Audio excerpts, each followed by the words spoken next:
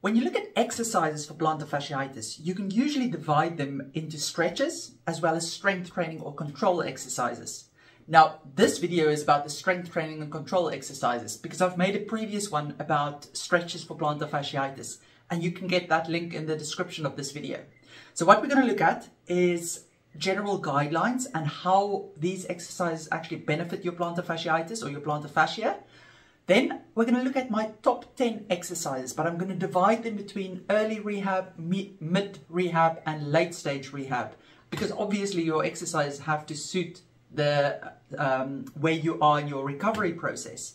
And then lastly, I'll also mention an app that you can use to help guide you through your rehab process if you actually want a bit more guidance and more choice of exercises. I've helped develop the Exakt Health app and you can get a discount code to use it for one month free. So have a look at the description of this video if you want more details on that as well. For those of you who don't know me, my name is Maryke. I'm one of the physiotherapists from sportsinjuryphysio.com where you can get online physiotherapy assessment as well as treatment for your injuries. Have a look at the description of this video if you want a link to our website. So how do exercises that help build strength and control in your legs and your ankle actually help your plantar fasciitis? So it's through two ways. One is it helps to strengthen your plantar fascia again and two, it helps prevent it from coming back. So let's dig into both of those a little bit in more detail. Let's first look at how strength training exercises and control exercises helps your plantar fascia to recover.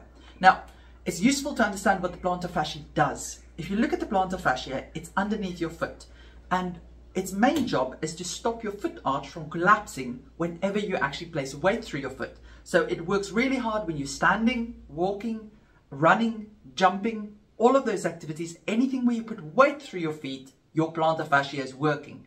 Now, once it's injured, it actually loses some of its strength and endurance. So it can no longer really cope with all the activities you've done in the past. It's obviously also on a sliding scale that somebody who's had it for a long time or really overdid things, their plantar fascia may have very little capacity to cope with standing. So even standing for a few minutes may be really, really painful. Whereas other people may not feel much pain when they run or when they stand or walk. It's only when they run that they get pain.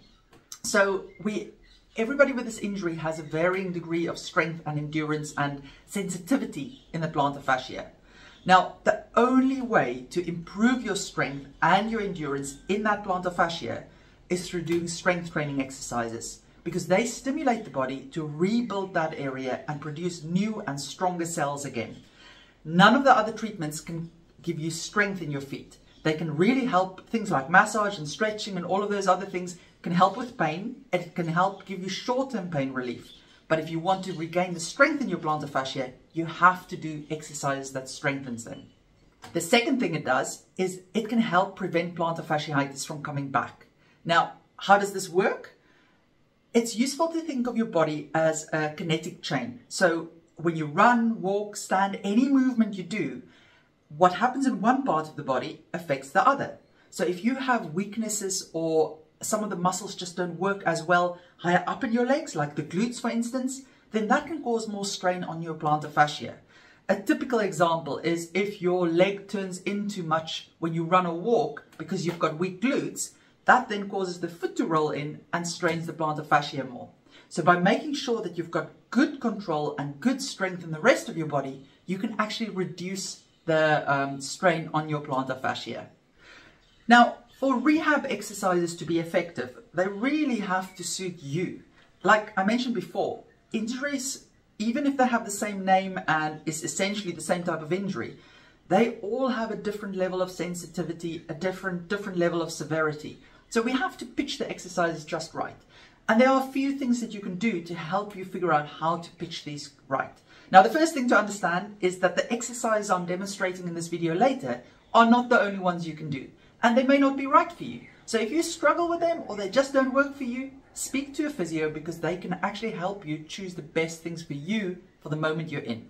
So how do you actually know what stage of recovery you're in? Now, the obvious thing that people think of is, oh no, I've got to scan it because then I'll see where I am.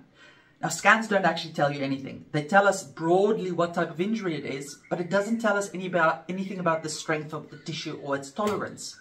So the best way to gauge where you are in your recovery period or what exercise it will tolerate is to notice what level of pain you have when you move or what because sometimes it's not even about the tissue strength it's more about the sensitivity. And you've got to pitch the exercises to the sensitivity so that that can calm down.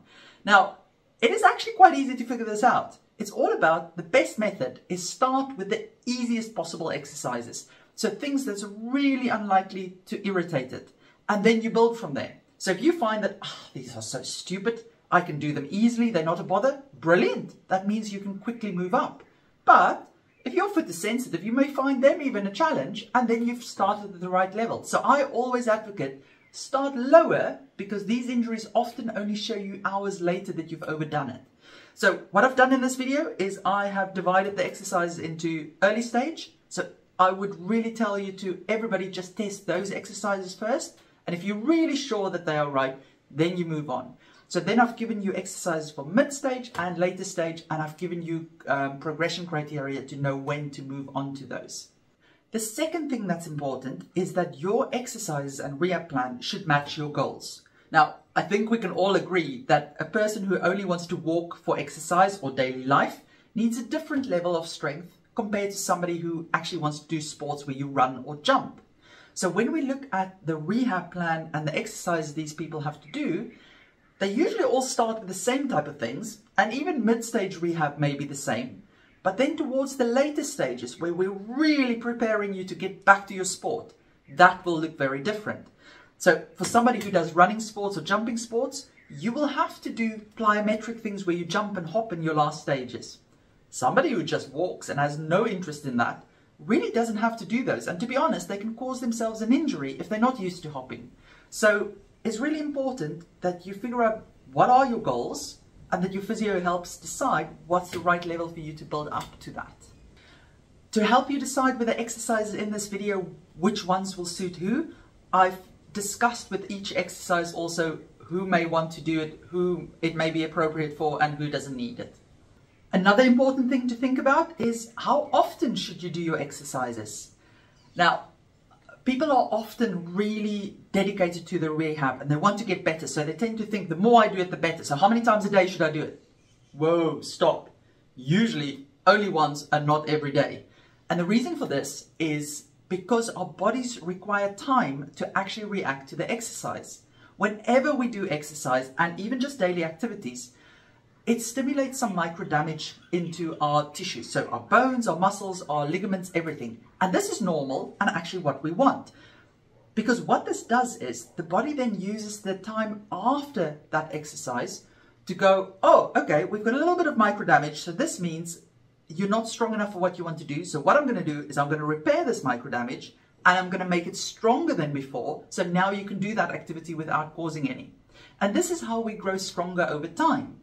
But the problem is, if you don't allow that recovery period to take place, then the microdamage actually accumulates and it causes injuries like plantar fasciitis or other types of injuries. So it's really important to respect your recovery times. Now, the basic rule is that if it's a low load exercise, they don't cause much microdamage. They usually just improves your circulation and stimulates this, the um, nervous system and the muscles to work a bit. Those can usually do, be done once, twice a day even sometimes, but it's usually safe to do them, to only give them 8 to 24 hours rest between. If it becomes a higher load exercise, where you actually start to fatigue the muscles and you can feel that you're working, now those usually require 48 hours um, of recovery time. I will also say, if an injury is quite sensitive, then sometimes those the pain can get oversensitive and it can get triggered really easily. In those cases, it can also help to go a little bit slower with the rehab. Not because you're not recovering well, but because we have to calm that oversensitive pain system down. So what I'll do is with the exercises as well, when I demonstrate them, I'll tell you which ones you likely want to be um, leaving more recovery time between and which ones you can do daily and which ones are really just for circulation you can do more often. Something else to think about is that what is classed as a high load exercise is really relative to your own fitness and strength. So for instance, for somebody who doesn't do exercise at all, actually just doing double leg heel raises, a high volume of that, may be a high load exercise. Whereas for the next person who runs and usually does strength training, double leg heel raises does nothing for them. It's just a circulatory exercise. So it's also about your fitness levels. And I do mention about fitness levels in the exercise demos as well for you. An important thing to keep in mind when you do your exercises is how much pain is actually okay to have during the exercise, but also in the hours afterwards. Because something to remember is that often these type of injuries feel absolutely fine while you're doing your exercises, but then about six, seven hours later, suddenly it's a lot more painful. So we've got to monitor both the pain or discomfort you feel while doing it, plus what happens in the hours afterwards. Now, what the research is showing is that it's absolutely fine to feel some discomfort while you're doing your exercises. So three out of 10 discomfort or, or just a slight, I can feel my foot discomfort is absolutely fine. As long as when you stop the exercise, that extra discomfort calms down and goes away and you just feel your normal levels of pain that you feel regardless of whether you do exercise. And then also in the 24 hours afterwards, you don't want to see a significant increase in your pain. So if you walk, wake up the next morning and you think, oh, my foot feels so much more stiff or uncomfortable when I walk compared to yesterday, then whatever you did yesterday was likely too much for it and you've got to do less. And this doesn't just have to be your exercise. It can also be how much you walked, how much other things you did. But if you wake up the next day and you think, nah, foot feels the same as every, as every day. It's a bit uncomfortable, but that's how it felt yesterday before I did my exercises. Then your exercises were likely pitched at the right level. So the other important thing to understand is if you do wake up and you think, ah, oh, my foot is really painful today, it doesn't mean that you've made your injury worse. What happens is the body tries to warn you before you actually worsen your injury. So if your activity that you did yesterday wasn't a massive step up from what you used to or you've been doing in the last couple of weeks, you've just done a little bit more and now you've got so much more pain, it's just the body making it more sensitive and creating a bit of pain to see if it can get you to take things easier. However, if you did do a dramatic lot more of exercise and activity yesterday compared to what you've been doing in the last couple of days and now it's flared up, then you may have made it worse. So if you're worried about it, see a physio, consult a physio, and just get it assessed so that they can tell you what the best thing to do is. Now, if you feel that whew, there are a few things to keep in mind here and you would like more help with your rehab, check out the Exakt Health app. I've helped design the app to guide you through this process. So what happens is it starts you at the easiest level of exercises and then it uses your feedback about your pain and how difficult you find the exercises to adjust your rehab plan for you and suggest what's the best next step in it. And then it also sets very specific criteria for you to tick the boxes before you can move on to the next level. And at the moment, you can get a month free subscription with it if you use the discount code. Have a look at the description of this video if you want a link to that and the discount code written down. Let's talk about plantar fasciitis exercises for early rehab. Now, who can do these? These are good starter exercises for everybody usually. Doesn't matter what your fitness level is, these should be applicable to everybody. The first exercise are the toe grabs. Now, I have no idea what you call them really. That's just what I call them because that's what you do. Why I like this exercise is it helps to strengthen the little muscles inside the foot. So they are meant to help support the plantar fascia in its job to support the arch. And second, it also improves the circulation in the area of the injury, which gets rid of lots of the toxins that's created in there that can actually improve, um, cause the pain if they accumulate. So by improving your circulation, it can lower your pain for several hours afterwards.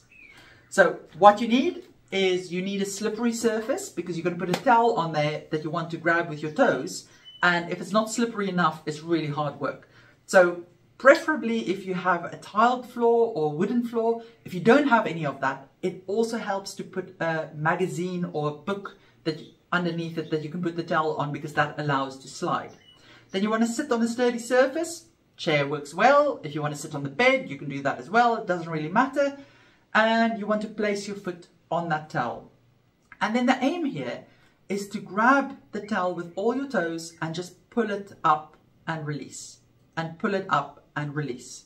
Now, depending on how sensitive your foot is, it may not like you to try and grab as hard as you can and hold it and release it. That may actually cause it to be, be sore or it can cause it to cramp. It's really common to feel a cramp with this exercise.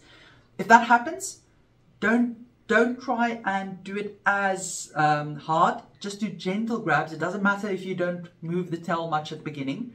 As you get going and over several days, this will start to feel better. If you do get a cramp, just gently bend your toes and everything back, and that will help to release that, that cramp as well. Something else you can do is, if it cramps, you can just roll your foot a little bit on a ball. That sometimes helps as well. So how many repetitions do you want to do? Usually, I tend to tell my patients to do about 10 repetitions and then just rest for about 30 seconds or do the other foot if you want and repeat that anywhere between three and six times. Now, whenever you start a new exercise, go for the lower level and check that 24 delayed response, 24 hour response to this, and then decide whether you do more or less, see what works for you. How often can you do these? These are low load exercises. You can do them every day, and if you wanted to do them twice a day, you could. Or something else that may work better is if you actually say, well, I want to do six sets of 10 repetitions in the day, so let's break it up. You feel free to break it up that you do three sets in the morning, three sets later in the day. See what works best for you. My second exercise that I like during the early stage is to start introducing some double leg heel raises.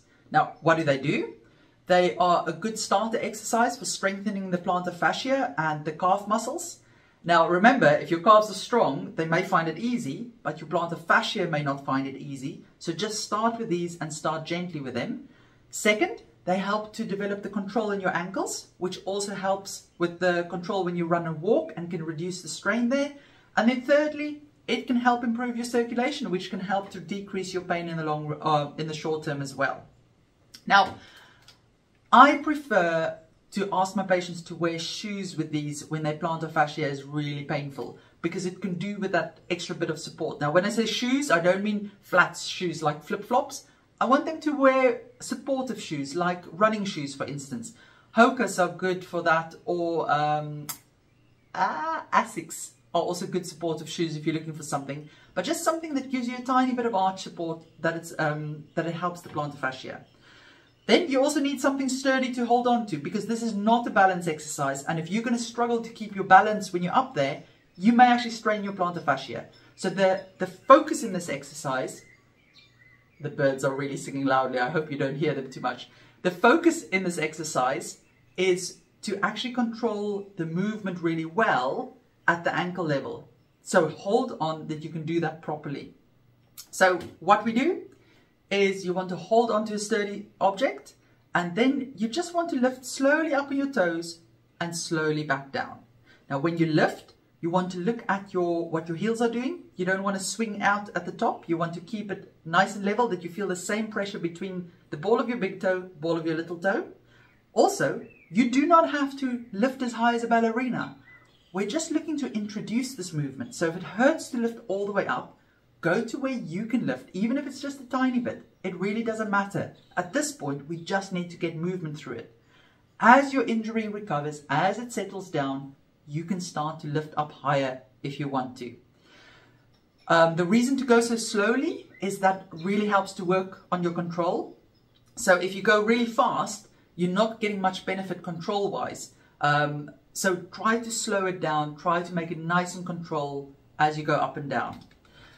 Repetition-wise, a good place to start is with about 10 repetitions. Give it a minute's rest, do three sets, then you check your 24-hour pain response.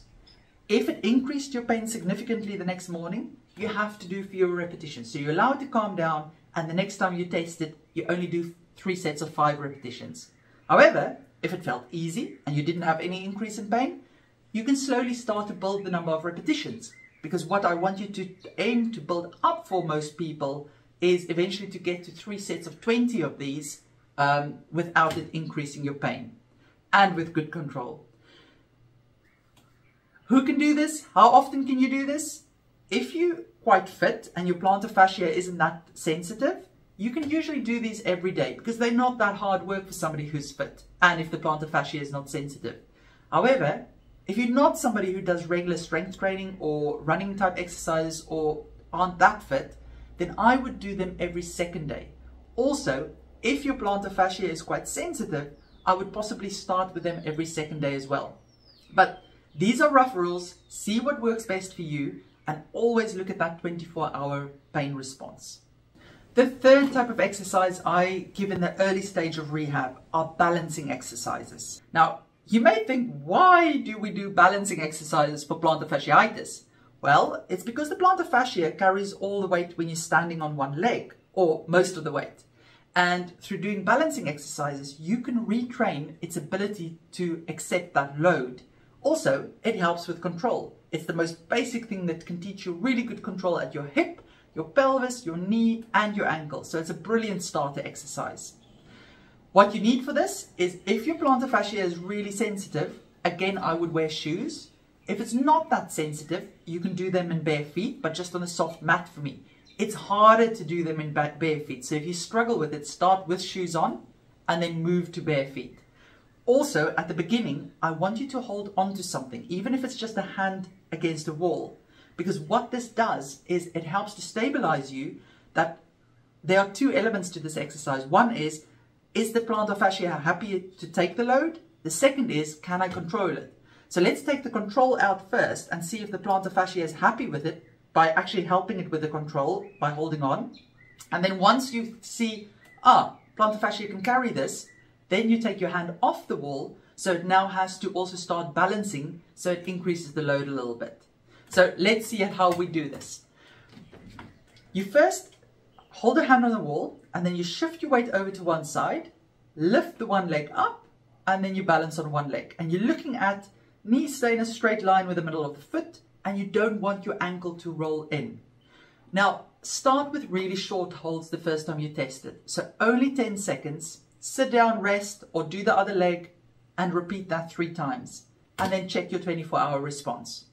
What you're looking to build up for to over several session, sessions is that you get to 30 seconds balancing on one leg and 30 seconds without a hand on a wall. So you're just looking straight ahead and you're keeping your ankle lovely and still and there's no real wobble there. At that point, you'll be ready to move on to the next one of those. Who can do these exercises and how often?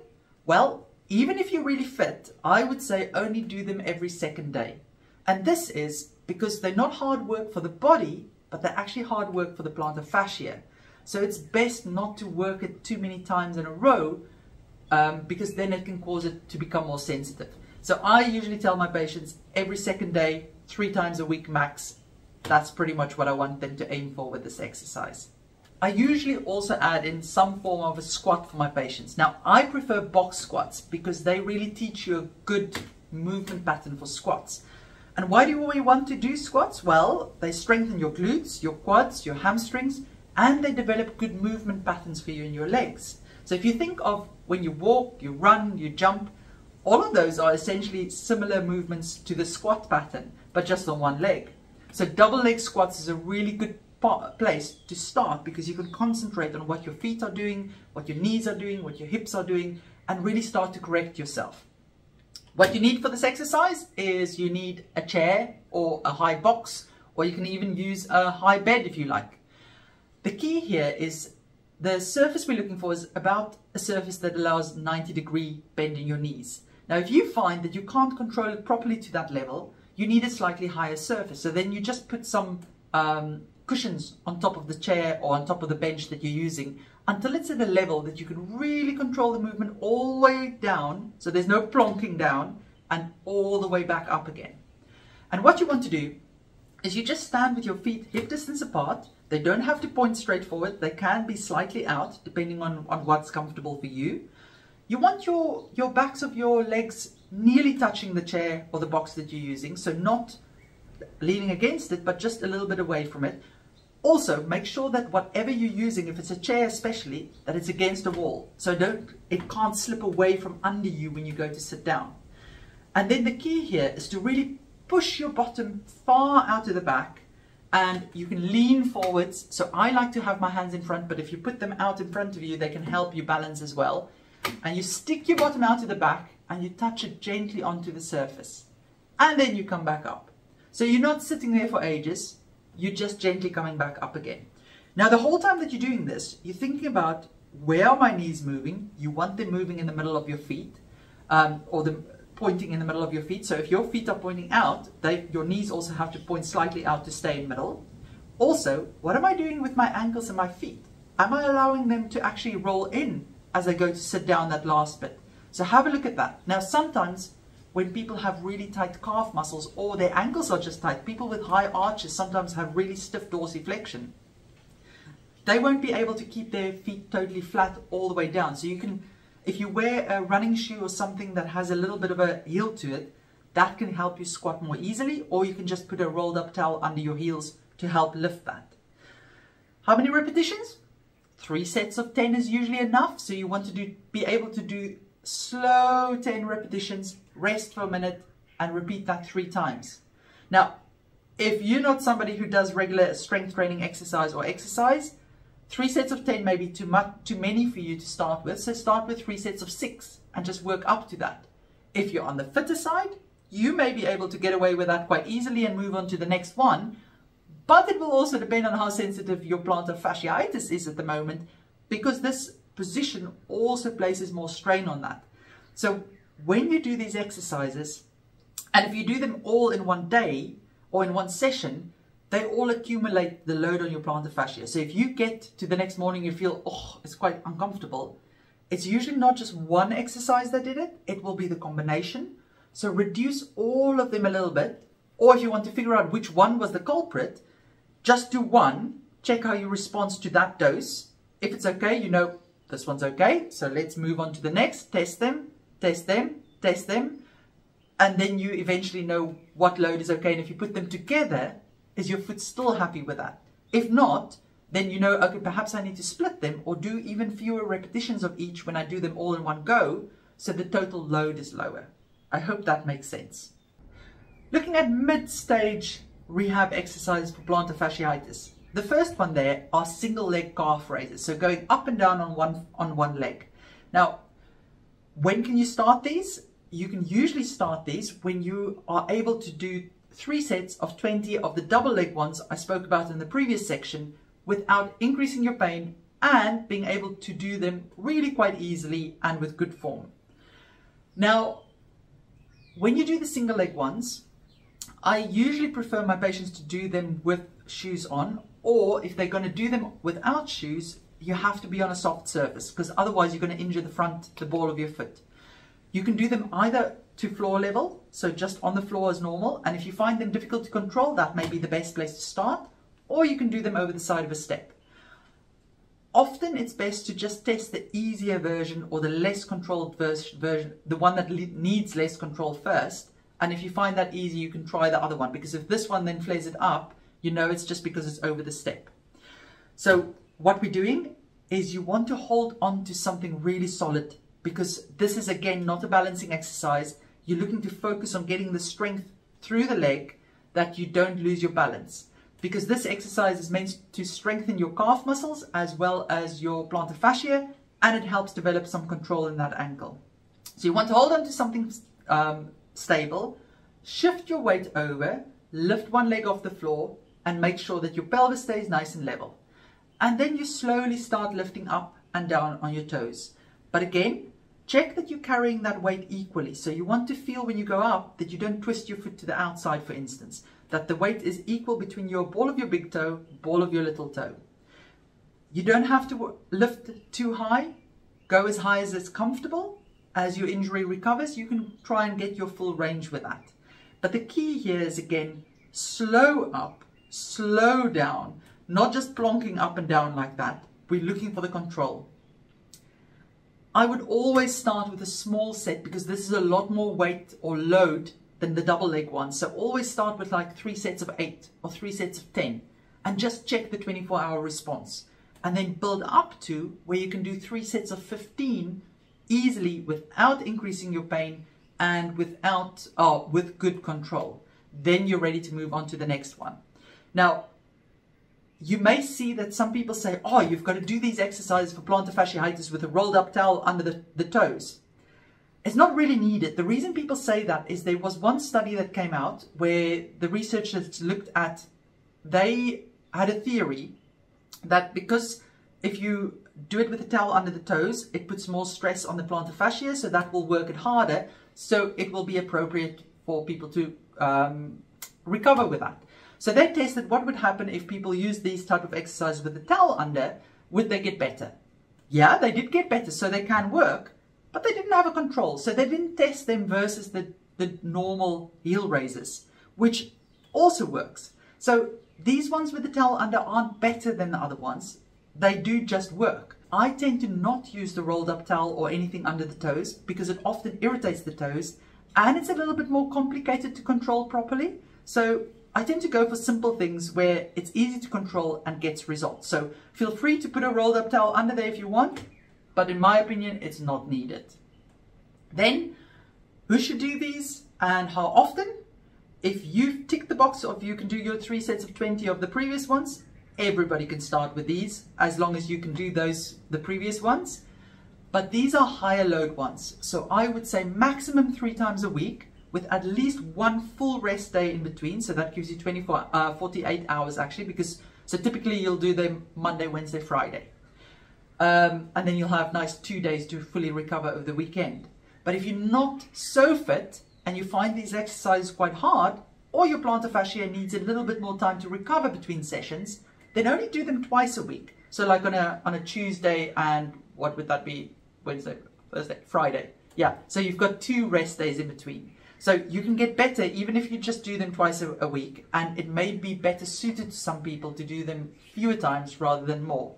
But don't do them twice in a row. If you missed your session you think, oh, I've got to fit one in, just leave it out.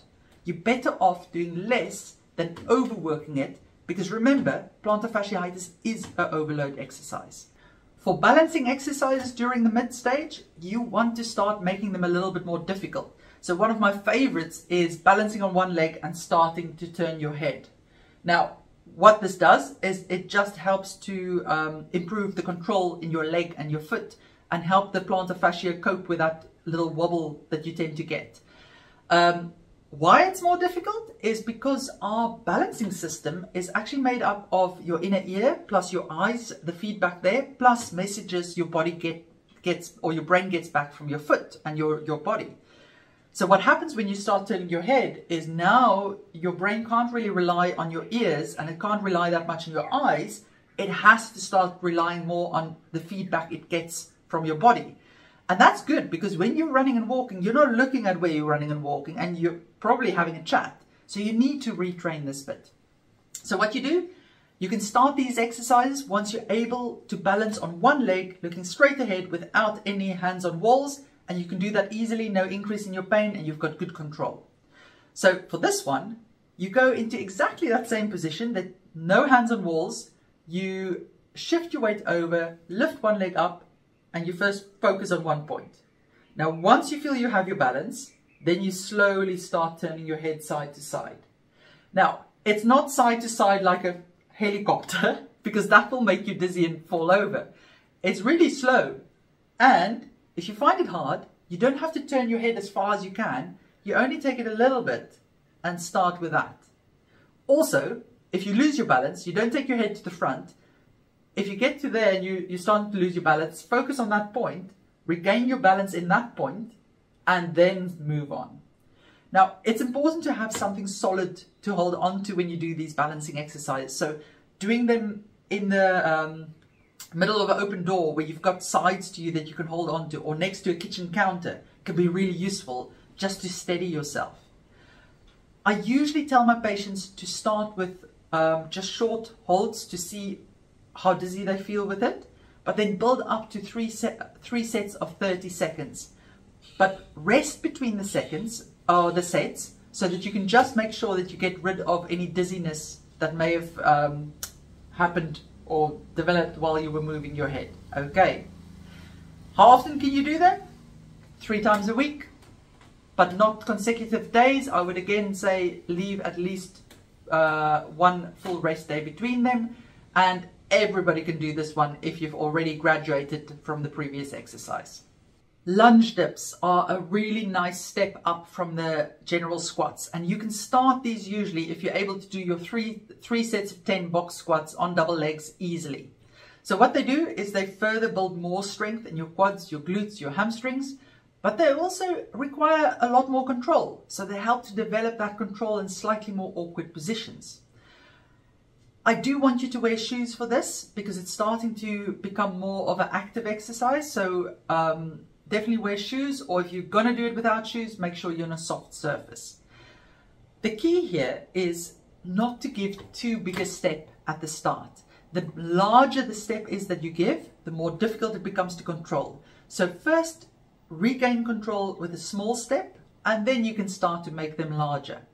So what you do is you give a step forwards so that you're in stride stand and your feet are not in a line like this, they're slightly apart.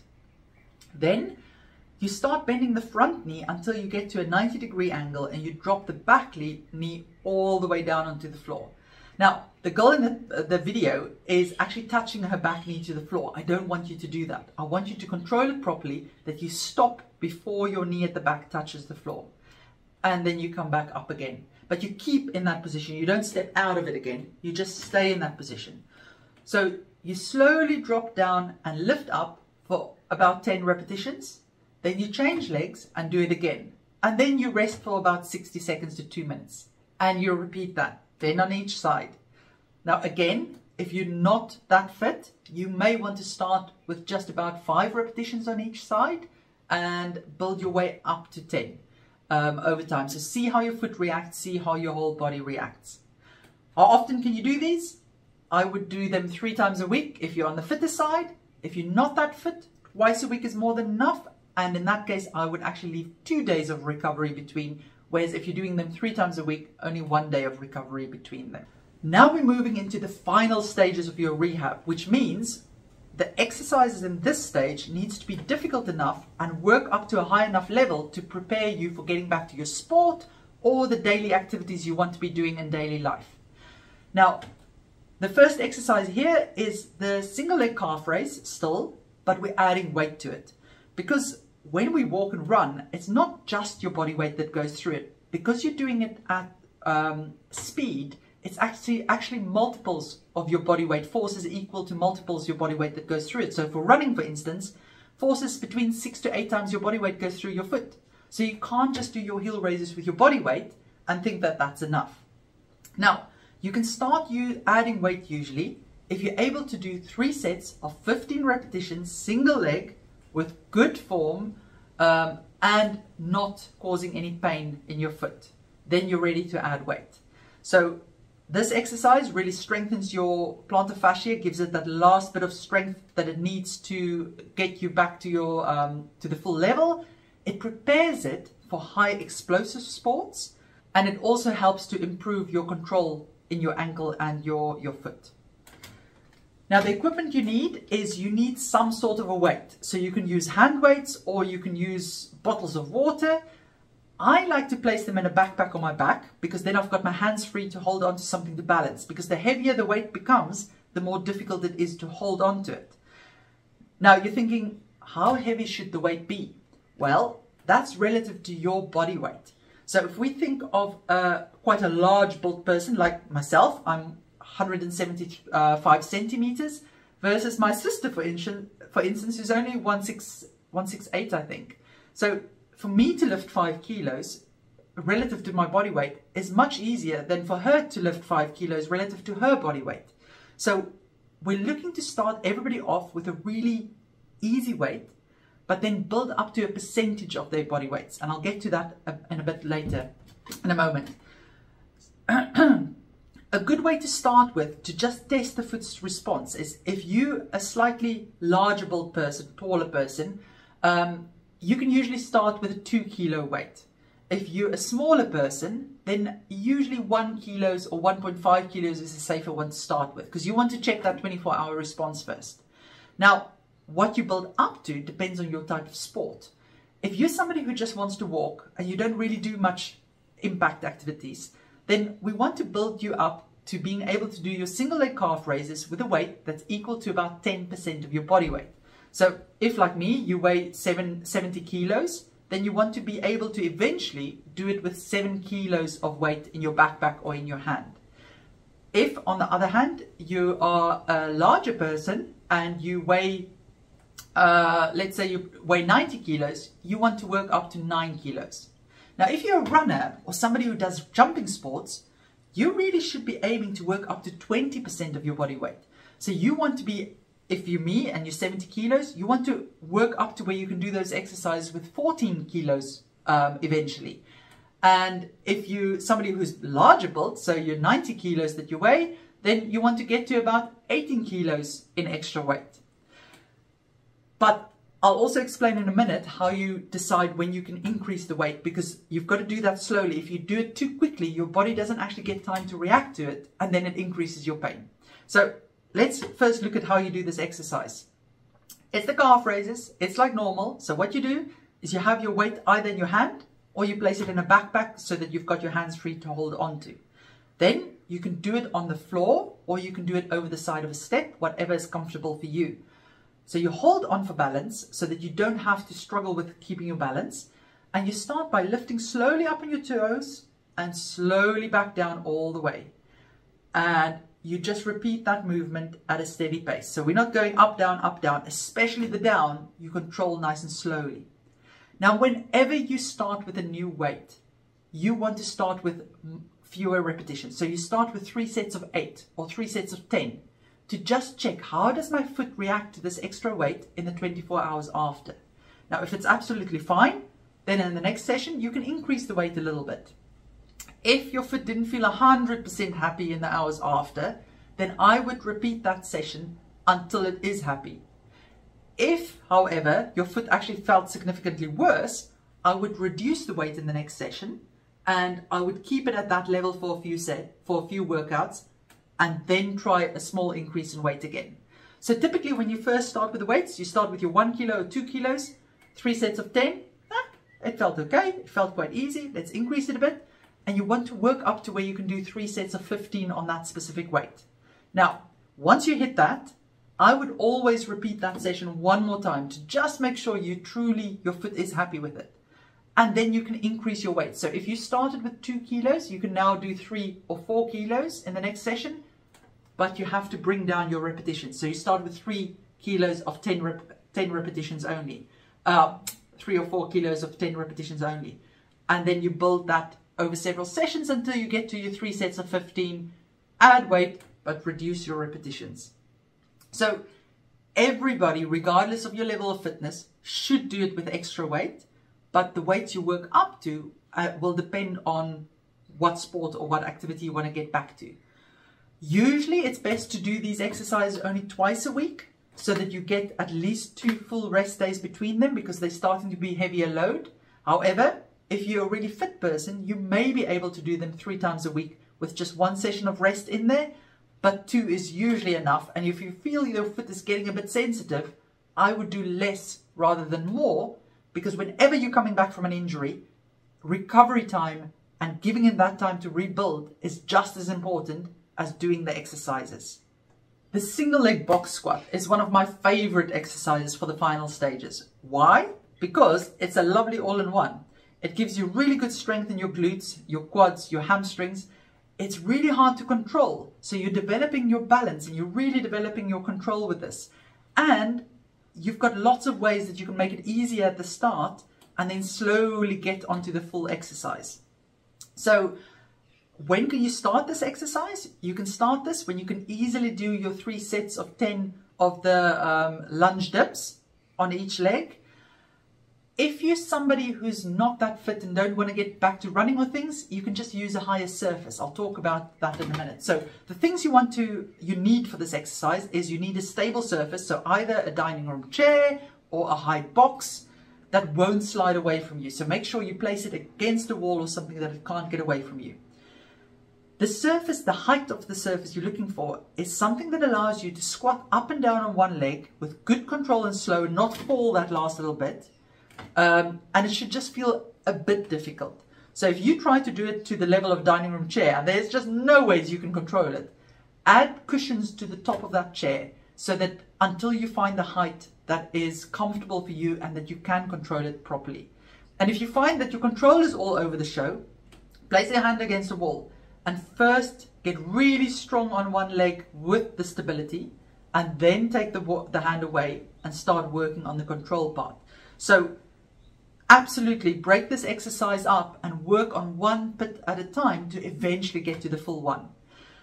While you're doing it, you want to think about pushing your bum out to the back. You can have your arms out to the front if you feel that it, it helps you stabilize, or you can have it there.